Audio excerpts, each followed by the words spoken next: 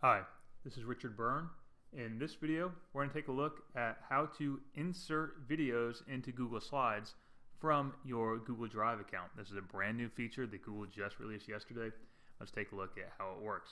So first of all, you'll need to have a video stored in your Google Drive account and you can upload any video you like just by going to the new button and then selecting File Upload. And then you can upload any file you have stored on your desktop. So I have a bunch of videos here in my screencast folder and maybe I want to use that video. And you'll see down there it's uploading and converting for playback. Now I've already uploaded a bunch of other videos so let's go ahead and insert a video into the slide now.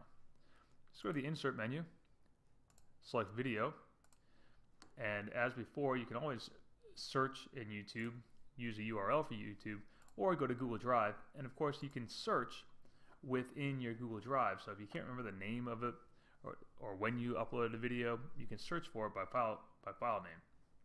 You see I have a bunch of unnamed ones in here. So in that case, I'm just going to have to search through it that way. Now, let's go ahead and put in this video here of my daughter playing with her ball.